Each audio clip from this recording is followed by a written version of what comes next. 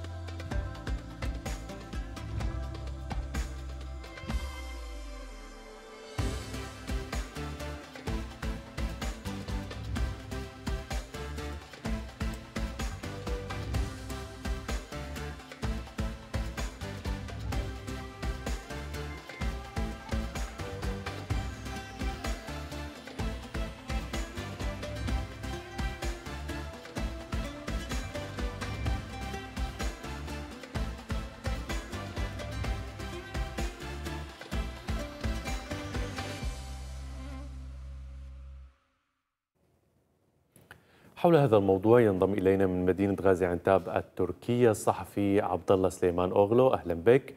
خلينا نحكي شوي عن الأهداف المرجوة من اختيار الأمم المتحدة لهذا اليوم يوما عالميا للتأهب للأوبئة. يعني مثل ما بتعرفوا السنة عام 2020 أو بنهاية 2019 مع انتشار جائحة كورونا هذه الجائحة التي وحدت العالم تجاه مرض كان لا يعرف الحدود وينتقل بشكل سريع جدا بين الدول. وهناك أنظمة صحية قوية جدا انهارت بفعل هذه الجائحة. فما بالك بالأنظمة الضعيفة أو البلدان الفقيرة أو البلدان التي فيها حروب مثل سوريا؟ فلذلك الأمم المتحدة حددت يوما للتأهب للأوبئة حتى تبني نظما صحية قوية. إن كان في جميع الدول إن كانت قوية وإن كانت فقيرة وإن كان متوسطة الحال بحيث تكون جاهزة لأي جائحة لأن في حال حدوث أي جائحة في أي بقعة من العالم فإن هذه الجائحة ستنتشر بشكل سريع لأن الجوائح لا تعرف الحدود ولا يعني تنتشر بشكل اشكال مختلفة. إن كان عن طريق الناس أحيانا عن طريق الهواء عن طريق النباتات عن طريق الحيوانات ربما فالجوائح بالفعل لا تعرف الحدود. منظمة الصحة العالمية أيضا حذرت من أن جائحة كورونا لن تكون الأخيرة ربما. الله لا يقدر أكيد. لكن بين الحذر والتفاؤل والإحباط كيف يمكن أن نتعامل مع هذه التحذيرات؟ يعني هناك نوع من الخوف النفسي حيال هذا الموضوع. نعم صحيح. يعني هذه الجائحة الأخيرة بالفعل يعني جعلت الناس في خوف كبير. جدا لأن المرض لا يعرف الصغير ولا الكبير ولا يعرف متوسط العمر ولا يعرف الغني ولا الفقير حتى. فبالتالي يعني هناك دائما تحذيرات وهناك ظهرت سلالات جديدة في الطفرات لفيروس كورونا. فالناس متأهبة بالفعل ومتخوفة أيضا من ظهور من ظهور أمراض جديدة في أي بقعة من بقاع العالم.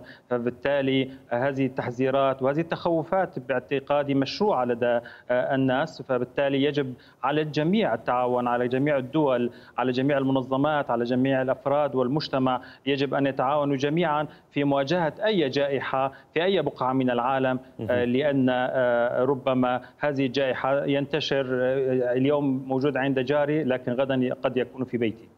صحيح.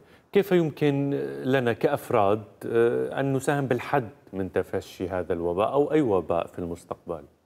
نعم. يعني لست طبيبا لكن يقال بأن درهم وقاية خير من قنطار علاج. يعني جميع الجوائح جميع الأمراض هناك قواعد أساسية يجب على المرء أن يتبعها حسب توصيات منظمة الصحة العالمية.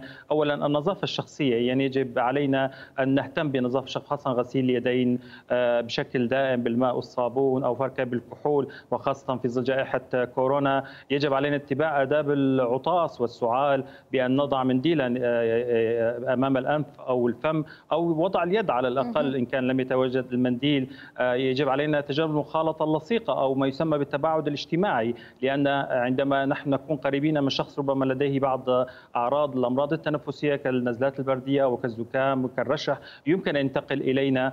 أيضا يجب طهي الطعام بشكل جيد لأن هناك ربما ينتقل بعض الأمراض المعديه عن طريق الطعام والشراب. ويجب أيضا أن نتجنب التعامل غير الآمن مع الحيوانات وأنتم تعرفون بأن كورونا انتقل عن طريق الحيوانات في الصين كما أشيع إلى الإنسان. فلذلك يجب أيضا أن نولي هذه النقطة أهمية كبيرة. اعتماد الأمم المتحدة لهذا التاريخ هو 27 من كانون الثاني ليوم للتأهب للأوبئة. أكيد مثل ما بنعرف لكل يوم تختار الأمم المتحدة يكون له غاية أو هدف. اليوم شو هي المشاريع اللي ممكن يشملها هذا اليوم أو حتى النشاطات؟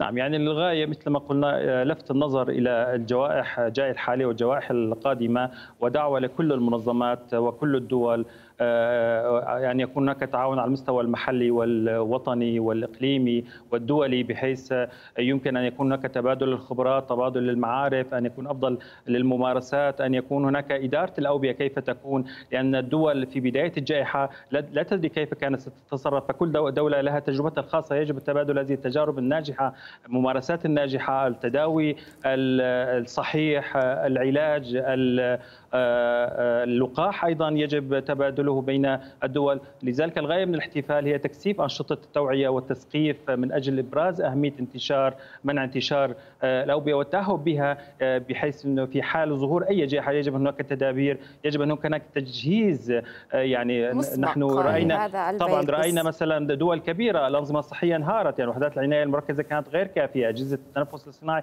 كانت غير كافية فلذلك يجب أن يكون هناك تعاون في حال ظهور أي جائحة بين جميع الدول للقضاء عليه.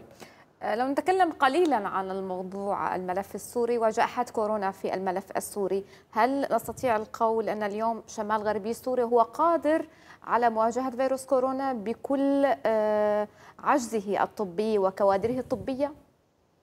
طبعا بالتاكيد غير قادر. يعني أنظمة صحية مثل الولايات المتحدة يعني انهارت وحدات العناية المركزة كانت غير كافية لمواجهة الأعداد المتزايدة من المصابين. فما بالك بمنظومة صحية منهارة تماما انهارت تماما وبنيت من جديد يعني. لكن الحمد لله يعني خلال الأسبوع الأخير تقريبا يمكن أن نقول بأن الموجة الأولى في سوريا انتهى. يعني عدد الإصابات اصبحت تتراوح بين ال 50 وال 60 وهذا عدد جيد. يعني عدد الاصابات الكلي بلغ حتى الآن حوالي 200 ألف وعدد المتعافين حوالي 12 ألف. عدد الوفيات ما أعلن رسميا حوالي تقريبا 303 وفيات. فبالتالي نتمنى أن لا تكون هناك عرضة المنطقة لموجة ثانية. يعني نعم. الآن الوضع مسيطر عليه إلى حد ما. نتمنى, نتمنى ذلك. نتمنى ذلك. بالعودة إلى إلى موضوع هذا اليوم نحن جزء من الطبيعة والحيوانات مثل الطيور والقطط وغيرها تحيط بنا دوما. فما هي أشكال العلاقة الصحية خلينا نقول بين الإنسان والحيوان بحيث لا نلحق بهم الأذى ولا نتسبب بأذية أنفسنا. نعم يعني البيئة متوازنة بالتأكيد يعني بين الإنسان والحيوان والنبات كلنا نتقاسم هذه الطبيعة هذه البيئة. فلذلك يجب أن تكون هناك علاقة متوازنة بين العناصر الثلاثة بالتحديد والذي يجب أن نتعامل مع الحيوان بشكل آمن أن لا نكون الحيوان يعني جزء من حياتنا بحيث يجب أن يعني تتجنب إفرازات الحيوان. ربما يكون هناك معاملة لصيقه مع الحيوان لأنه كثير من الأوبئة والأمراض تنتقل عن طريق ربما افرازات الحيوان ربما عن طريق الحليب أحيانا.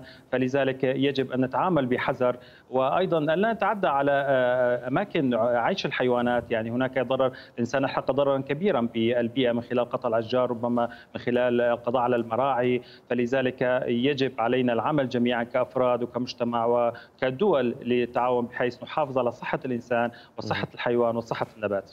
ما هي أهم الدروس والعبر أو العبر عفوا التي يمكن أن نستخلصها من جائحه كورونا بعد مرور تقريبا عام على ظهور هذه الجائحة في حياتنا؟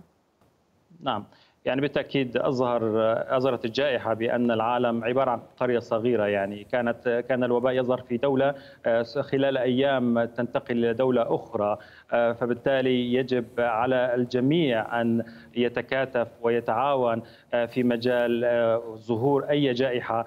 هناك يعني بعض أحيانا الدول الغنية حتى القوية يعني وضعت يدها على بعض المستلزمات الطبية نتيجة نقص المستلزمات الطبية.